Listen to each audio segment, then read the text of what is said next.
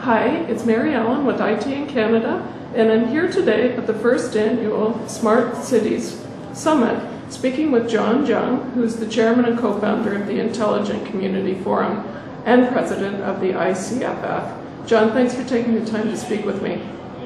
Well, good morning, Mary. Happy to be here. Thanks.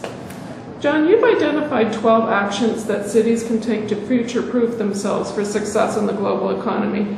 Could you identify the top three and explain why they are important to citizens and local business?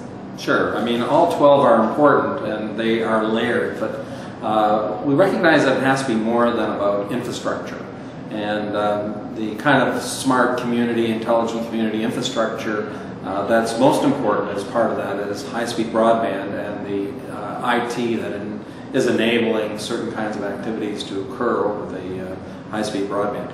Um, the others uh, include things like making sure that uh, we are able to attract, create, and uh, more importantly, uh, retain the kind of knowledge workers that are important, who then would use uh, this high-speed broadband to create, and I'll use the third one, uh, create innovative and um,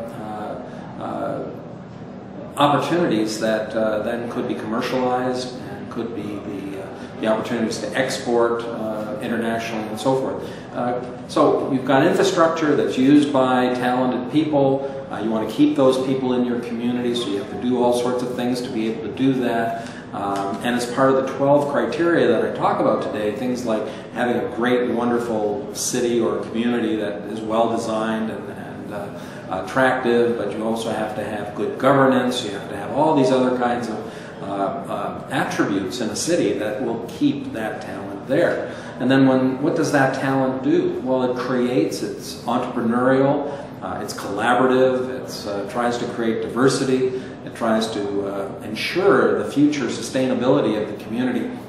So these all are layered one on top of each other and are important. But uh, the top three that I would say are great infrastructure, great talent, and you want to keep that talent, and uh, also uh, do it and use it in a way that creates uh, sustainable uh, jobs and the economy for the region through uh, innovation and uh, creativity.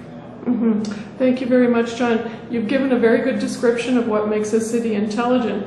What should politicians, citizens, and business leaders do to contribute to the creation of this type of city? Well, what you're describing is what is referred to as a triple helix. Um, the public, private and the institutional sectors all have to work together in sync. Uh, the cities that uh, cities and regions that do this uh, are looking to create a balance because obviously uh, jobs that used to be there have now been destroyed because of uh, uh, the kinds of new technology that are in place and those jobs just won't come back. There are new jobs in play and so everybody has to work together and some of them need to be properly funded. Uh, what we're looking for is uh, an opportunity for uh, the governance to create the environment uh, that uh, nurtures uh, creativity and innovation, that nurtures the attraction of, of talent, in some cases the creation of talent by attracting a university or, or higher level of learning into a community. businesses need to thrive, they will need to bring in other foreign direct investment into a community. Uh, they need to participate by being collaborative, uh, by being entrepreneurial, and by creating the kind of opportunities for those who are talented to have jobs in the community. And finally, uh, the institutions themselves, they need to be there to create the talent, uh, to create the passion, and uh, the, inspire those creative uh, juices in those communities to actually do unique things that then help to um, uh, create opportunities for those communities to thrive in a, in a, wonderful economy. So those are the kinds of things that happen and, and are I'm very keen to uh, see that occur in uh, communities all around the world. Mm-hmm. I understand that Toronto is a contender this year for the Intelligent Communities Forum Award. What are Toronto's assets in this competition and what could the city be doing better? So I'm, I'm very familiar with uh, the, the, Toronto and Toronto area. One of the key things that uh, differentiates Toronto from many other uh, Canadian cities uh, is its attributes along its waterfront. Uh, there are many other cities that have beautiful mountains, uh, ocean settings, uh, hills, and so forth. Toronto is a community on its waterfront, and the Toronto waterfront is being redeveloped in the, in terms of what they call the intelligent waterfront.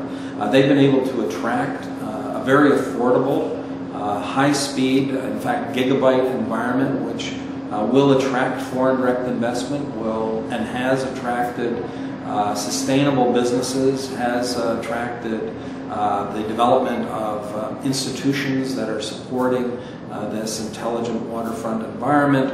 Um, we know the Pan Am Games are coming. There'll be housing. There'll be people that will actually use and live it all year round. Um, but the Toronto waterfront uh, differentiates itself not just in terms of that infrastructure, but because of its overall philosophy of sustainability. It has a transit-first uh, attitude. It uh, develops affordable gigabyte uh, high-speed broadband for all these businesses. It has a, a, a use and reuse uh, application uh, that all these policies will, of course, penetrate the rest of the community. And so it is a passionate, inspiring uh, waterfront that I think will be uh, uh, uh, very well received all around the world as it evolves. I'm very proud of the fact that this community is evolving in that direction. Uh, my last question, John, is about the IFC awards. I noticed that there's a disproportionate share of Canadian cities among the award winners. When you take into account our population and the number of cities we have, how do you account for this, especially given the high cost of broadband in our country? Sure. So um, at the end of the day, it's about getting the word out. Uh, we've been doing this for decades, actually, and uh, there are a significant number of Asian, European, uh, South American, even African, uh, and, and, Australian uh, communities that have participated. Uh, but we have a headquarters in New York City. we have a number of people that travel all over the world, but you know it's it's easiest to market in locations like Canada and the United States. Not that we're North American centric, we don't want to be. We spend a lot of time in India and China and elsewhere. Uh, but uh, what we're looking really for is the opportunity uh, to uh, go beyond just Canada and the United States. However, Canadian cities get it.